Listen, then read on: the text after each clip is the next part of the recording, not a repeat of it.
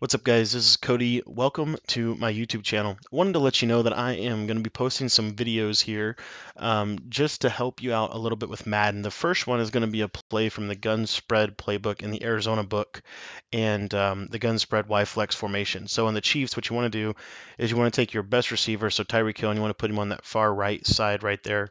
Um, and you want to come out in the play mesh. Now this play is my favorite play in the game and it beats every single coverage. The only hot route adjustment that I make is I take take the, uh, the running back and put him on a streak route. So this is what the play looks like pre-snap.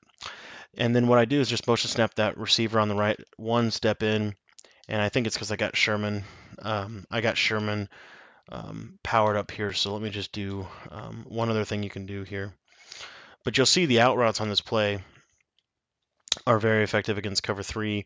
The crossing routes are really effective against man-to-man coverage. So if you get man-to-man coverage, uh, you'll want to hit those crossing routes. So like here, You'll see that little quick route to Kelce beats most man-to-man coverage, those crossers. Um, that's kind of the whole point of the mesh from the air raid playbook. Um, in the Arizona playbook, so Cliff Kingsbury, I'm going to be doing a, a, series on him uh, before long here. But you see against zone, those crossing routes will will um, will hook up there. And then the last route, and this is your number one read, is the route to Tyreek Hill. And as you'll see right here, if you pass that to the right, he'll beat every zone in the game with the exception of a cover two. So just wanted to give you a quick play, let you know I am going to get back into the Madden community um, a little bit here and uh, hopefully it can be helpful to you.